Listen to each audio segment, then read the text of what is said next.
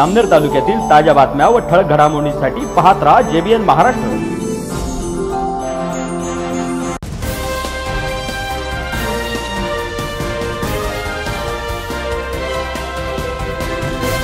नमस्कार मी विनल चौधरी. पाहूया काही ठळक वृत्त. जामनेर तालुक्यात कापूस प्रक्रिया उद्योगासाठी औद्योगिक वसाहत निर्माण होत असून यासाठी शेतजमीन अधिग्रहण करण्याचे काम शासनाकडून सुरू आहे. शासनातर्फे हेक्टरी पंचवीस लाख रुपये मोबदला देण्याचे पत्र शेतकऱ्यांना प्राप्त झाले असून या संदर्भात कृषी उत्पन्न बाजार समिती या ठिकाणी बैठक आयोजित करण्यात आली होती. यावेळी उपस्थित शेतकऱ्यांनी मोबदला हा पंचवीस लाख रुपये हेक्टरी कमी असून तो पन्नास लाख रुपये हेक्टरीप्रमाणे मिळावा तसेच उतार्यात असणाऱ्या व्यक्तींच्या वारसाला प्रकल्पग्रस्त म्हणून दर्जा मिळावा आणि शासकीय सेवेत सामावून घेण्यात यावे अशी मागणी शेतकऱ्यांनी या प्रसंगी केली आहे. मुंबईला दुसरे महत्वाची सुनावणी लागल्यामुळे जिल्हाधिकारी महोदयांनी त्यांना तिकडे जाण्याच्या सूचना केल्या. त्यामुळे त्या आज या मिटिंगला हजर राहू शकल्या नाही आजच्या बैठकीमध्ये तुमचे काही प्रश्न असतील तर ते आपण त्याच्यामध्ये घेणार आहोत. आणि मग वाटलं तर परत पुढच्या आठ दिवसामध्ये अजून एक बैठक लावण्याचं प्रयोजित आहे. करारला मान लिहून देणारे संबंधित शेतकरी आहे त्याच्यामध्ये पूर्ण करारनामा मी एकदा वाचून दाखवतो. म्हणजे तुमच्या लक्षात येईल की याच्यामध्ये काय काय आपण करणार आहोत. मोजे गावाचं नाव असेल वळ हवेली आंबीर होळ किंवा गारखेडा बुद्रुक तालुका जामनेर जिल्हा जळगाव. येथील भूधारक आज रोजी करारनामा लिहून देतो की देते की चार की महाराष्ट्र शासन उद्योग व कामगार विभागामार्फत दिलेल्या आदेशाप्रमाणे महाराष्ट्र औद्योगिक विकास अधिनियम एकोणीसशे एकसष्टचे प्रकरण सहा दिनांक चार अकरा दोन हजार सोळा रोजी प्रसिद्ध झालेली आहे.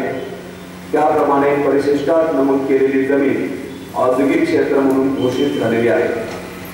तसेच वरील अधिनियमाच्या कलम बत्तीस दोन खाली अधिसूचना महाराष्ट्र शासनाच्या दिनांक बावीस ते अठ्ठावीस जून दोन हजार सतराच्या अंकात पृष्ठ क्रमांक अठरा ते एकोणीस वर प्रसिद्ध करण्यात आलेली आहे. तसेच दैनिक आव्हान जळगाव या अंकामध्ये प्रसिद्ध करण्यात येऊन त्यानुसार उक्त जमिनीचे भूसंपादन करण्याची कार्यवाही सुरू झालेली आहे. याबाबत त्यांच्याकडील दिनांक बारा जून दोन हजार एकोणीसची नोटीस आम्हाला मिळालेली आहे आणि ज्या ती सोबतचे परिशिष्टात नमूद असलेली जमीन संपादित केली जाईल त्यातील आमच्या हक्काने नुकसान भरपाई दाखल मोबदला सादर सदर कायद्याप्रमाणे मिळावयाचा आहे. त्याआधी मी आम्ही मौजे आंबिलहोळ होळामिली व कारखेडा बुद्रुक तालुका जामनेर जिल्हा जळगाव येथील भूधारक खालील अटींना अधीन राहून मी आम्ही स्वघोषणे सदर जमीन व जमिनीवरील झाडे झुडपे संपादित क्षेत्रातील इतर मालमत्ता शासनाचे ताब्यात देण्याबाबत सदरचा करारनामा देऊन देत आहे आहोत. त्याच्यामध्ये अटी अशा आहेत.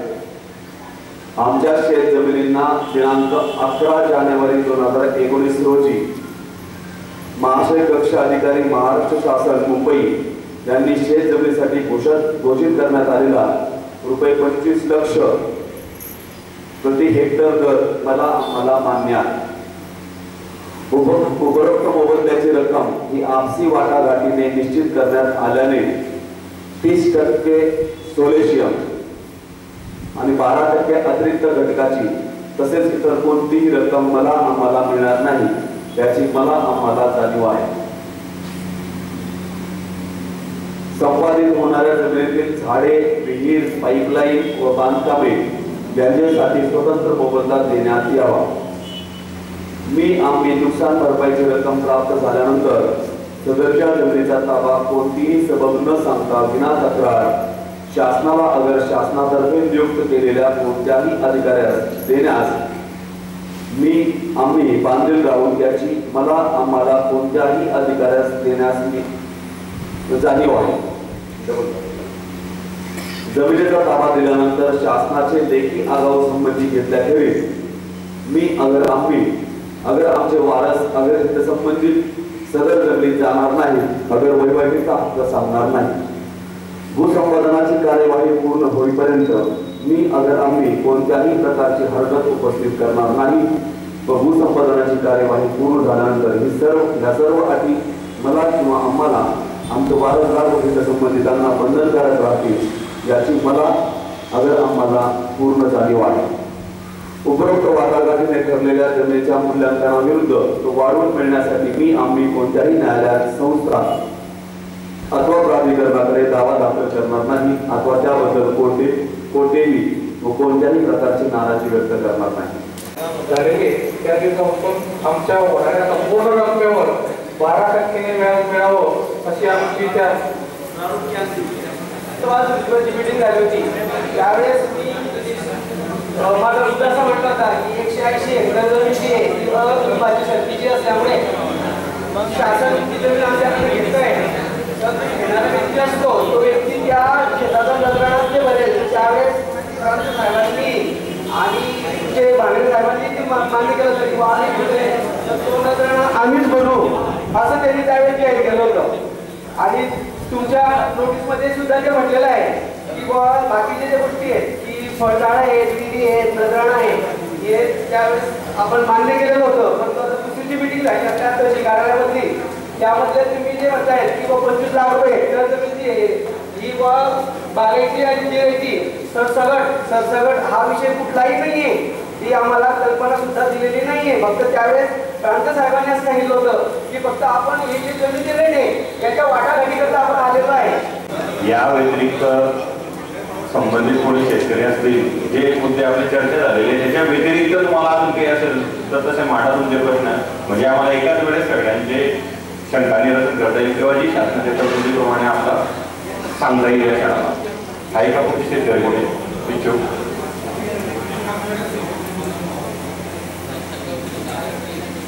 खरं म्हणजे मागच्या मागच्या बैठकीमध्ये ज्यावेळेस आपली कृषी उत्पन्न बाजार समितीमध्ये बैठक झालेली होती ती बैठक त्यानंतर वेळोवेळी दोन बैठका आपल्या तहसीलदार साहेबांच्या दालनामध्ये झाल्या. त्या बैठकीतील सर्व शेतकरी या ठिकाणी उपस्थित आहेत.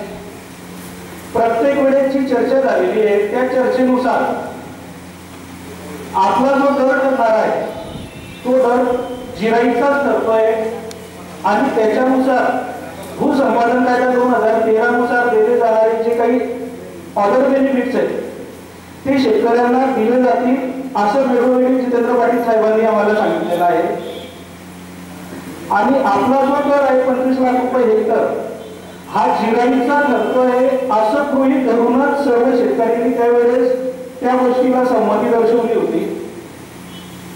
परंतु त्यावेळेस तशा म्हणजे जी आपली शेवटची बैठक झाली त्या शेवटच्या बैठकीमध्ये त्या बैठकीचे जे काही मिनिट्स केले गेले त्याच्यामध्ये जिराई हंगामी बागायत आणि बागायत या शब्दांचा उल्लेख न आल्यामुळे शब्दांच्या खेळामध्ये शेतकऱ्यांना फसवलं जात आहे. असं कुठंतरी मला तरी वाटत आहे आणि शेतकऱ्यांची धारणा त्याच पद्धतीची झालेली आहे. आणि आपण व्यवस्थित जर पाहिलं तर जी यांची उच्च अधिकार समितीचे मिनिट्स आलेले आहेत त्याच्यामध्ये सुद्धा पंचवीस लाख रुपये हेक्टरचा दर हा सरसकट देण्यात यावा असा कुठलाही उल्लेख आढळत नाही. सदरचा मोहूम असा जी बैठक एच पी जी बैठक आहे सर त्या बैठकीत सुद्धा सरसकट असा उल्लेख आलेला नाहीये. बरोबर?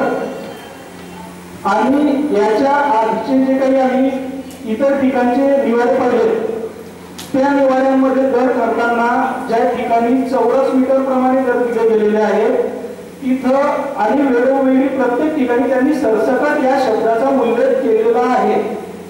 आपल्या कुठल्याही मिनिट्समध्ये स- सरसकट शब्दाचा उल्लेख आलेला नाहीये. त्याच्यामुळे आधी जे प्रशासनाने आम्हाला सांगण्यात आलेलं होतं की याचा जो दर विचारायचा त्याच्यानंतर तिरपट हंगामी भागायचा आणि तोलपट बागायतीचा दर देण्यात येईल या गोष्टी गृहित धरूनच शेतकऱ्यांनी त्यावेळेस संमती दिलेली होती.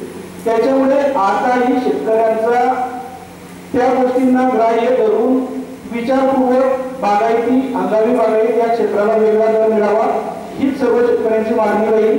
मी आलासिंग धना राठोड सर्व शेतकऱ्या शेतकरी बंधू भगिनींना मी बोलत आहे की धरणग्रस्त लोकांना किती पैसा मिळाला नाही आहे सर शासन आपल्याला एम आय डी सीमध्ये गेलेली जमिनीचे पंचवीस हजार ए, पंचवीस लाख रुपये हेक्टर म्हणजे दहा लाख रुपये एकरप्रमाणेच पैसा देणार. तरी हा पैसा आम्हाला मान्य नाही एवढंच माझं बोलणं आहे आणि एवढंच बोलतो आहे मी. बस दुसरं काही बोलायचं नाही. पैसा जास्त मिळावा कारण की ही जमीन दहा लाख रुपये एकर गेल्यानंतर सर्व शेतकरी भूमिहीन होणार आणि मग त्याचं जीवन उद्धार कशावर होणार हा प्रश्न आमच्यासमोर पडतो आहे तरी शासनाने हा पैशाचा मोबदला जास्त वाढावा आणि ब जिराईत आणि बागायत हा वेगळ्या वेगळ्या पद्धतीनं त्यांचा पैसा मिळावा हीच नंबर तर गट नंबर त्र्याऐंशी होळवेली शिवार. आमची त्या ठिकाणी दोन हेक्टर सोळार जमीन आहे. परंतु सरकारने सरसकट पंचवीस लाख रुपये हेक्टर त्या दराने आमची जमीन अक्वायर करताय पण ती ही अट आम्हाला मान्य नाही.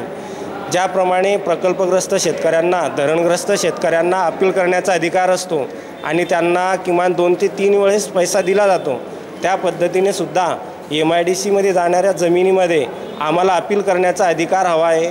त्याचप्रमाणे उतार्यावर असणाऱ्या प्रत्येक व्यक्तीच्या पुढच्या पिढीला किंवा अपत्याला नोकरीचा अधिकार त्या ठिकाणी देण्यात यावा फक्त तोंडी आश्वासन नको तर आम्हाला लेखी आश्वासन प्रत्येक शेतकऱ्याला हवा आहे. या या आमच्या प्रमुख अटी असून पंचवीस लाख हे रुपये हेक्टर हे आम्हाला अमान्य आहे. आम्हाला कमीत कमी पन्नास लाख रुपये हेक्टर आम्हाला मोबदला मिळावा. ही आमा ही आमची आपल्या मंत्री गिरीशभाऊ महाजन आणि सरकारला आमचं विनम्र आव्हान आहे. पुन्हा भेटू. तोपर्यंत पाहत रहा. N Maharashtra news. नमस्कार.